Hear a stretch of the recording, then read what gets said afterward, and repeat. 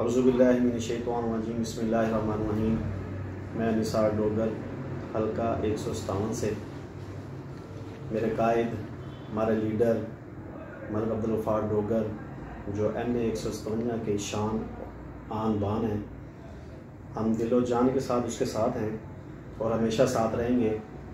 और अल्हम्दुलिल्लाह, हमारे पार्टी कायदीन, मुस्लिम लीग नून के मियाँ मोहम्मद नवाज़ शरीफ साहब, मियाँ मोहम्मद शबाज शरीफ साहब मियाँ हमजा शहबाज और मलिक नवाज़ साहबा के साथ हैं। अल्हम्दुलिल्लाह, हमने ये जो पिछला मुल्तान में जलसा हुआ है, अल्हम्दुलिल्लाह बहुत कामयाब हुआ है। गवर्नमेंट, न्याजी हुकूमत ने तो बड़ा ज़ोर लगाया कि इसे फलाप कर दिया जाए और ओछे हथगंडे इस्तेमाल किए उन्होंने। पहले हमारे लीडर, हमारे कायद, हल्का एक सौ सतावन की शान, मलिक अब्दुलफार डोवर पर एंटी करप्शन की तरफ़ से एक झूठी एफआईआर दी गई इस जलसे को नाकाम बनाने के लिए। और इसमें मखदूम जो शाह महमूद साहब हैं, उन्होंने और डीसी मुल्तान, जिन्होंने ये काम करवाया और डीसी मुल्तान की उसमें ही ये एफआईआर हुई। तो अल्हम्दुलिल्लाह अल्लाह पाक ने उसमें सुरखरू किया, उसमें ज़मानत होगी। और ज़मानत के अलावा वो एफ़ आई आर ही डिस्चार्ज होगी, अल्हम्दुलिल्लाह। और हम सुरखरू हुए इसमें, और इससे हल्के में एक और जान पैदा होगी आवाम का ज़ोर शोर, मलक अब्दुल्फ़ार डोगर साहब के साथ और ज़्यादा हो गया।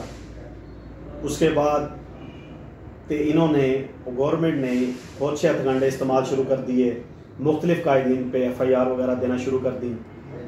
अल्हम्दुलिल्लाह, जिस टाइम ये तीस नवंबर का ये जलसा हुआ मलक अब्दुल्फार डोगर की रैली में हज़ारों की तादाद में लोगों ने शिरकत की और इस जलसे को कामयाब बनाया, अल्हम्दुलिल्लाह। और हम अब अपने कायद और हल्का एक सौ सतावन की शान मलक अब्दुल्फार डोगर के साथ हैं और तेरह दिसंबर को जो लाहौर में जलसा होगा, हम उसमें पुरजोश तरीके से शिरकत करेंगे और ये साबित करेंगे कि मुस्लिम लीग नून ही इस मुल्क के लिए बेहतर है, माशी तौर पर भी और दूसरे हालात के सभी हालात में भी।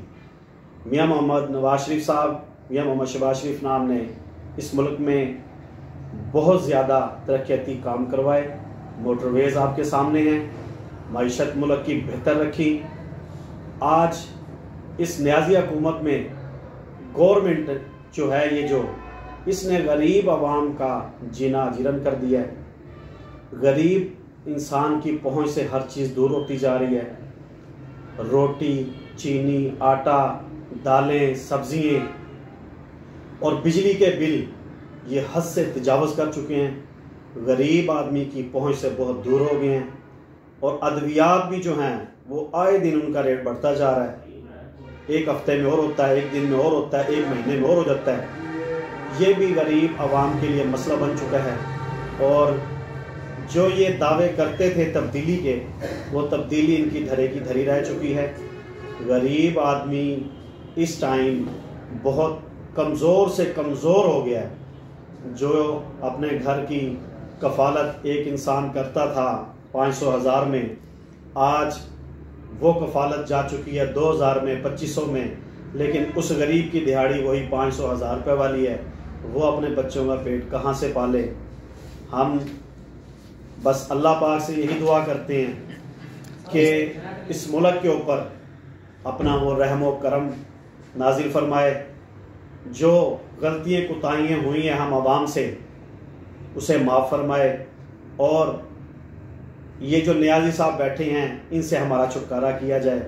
या अल्लाह पाक तो रहम रहीम गफूर है, अपना करम फरमा। हमारा कायद मियाँ मोहम्मद नवाज़ शरीफ साहब उसको सेहत याबी दे और जो मियाँ शबाज शरीफ साहब के ऊपर छोटे मुकदमात किए हुए हैं, उन्हें जेल में रखा हुआ है, उससे भी हमें सुरखरू कर, वो भी झूठे हथगंडे जो किए हैं, वो सब फलाप हो जाएँ और मियाँ मोहम्मद नवाज़ शरीफ साहब हमारे बीच में खड़े हों और इन जल्द से जल्द खड़े होंगे। हम पार्टी की आदत और इन सबसे मुतमिन हैं और मोहतरमा मरियम नवाज़ साहबा के साथ हैं इस टाइम और इन साथ रहेंगे इस मुल्क की बेहतरी के लिए। मेहरबानी, शुक्रिया।